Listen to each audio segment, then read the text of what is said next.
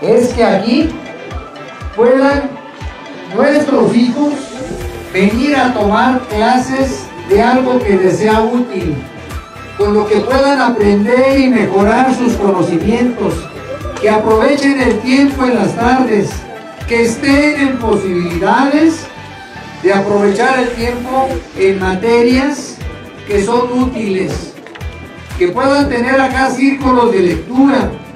que puedan recibir clases de estilismo, que haya equipos de cómputo para que aquí puedan hacer sus tareas, para que puedan estudiar la preparatoria, que las mujeres puedan venir a tomar clases de zumba, que tengan actividades permanentes en materia de cultura, en materia de educación y en materia de deportes. Pero que esta comunidad, y agradezco la presencia de todos ustedes, nos ayude. Es el primer caso de todo el municipio en el que inauguramos unas instalaciones como estas. Las vamos a replicar, las vamos a repetir en otras comunidades, pero el potrero es el primero, es el número uno y siempre el número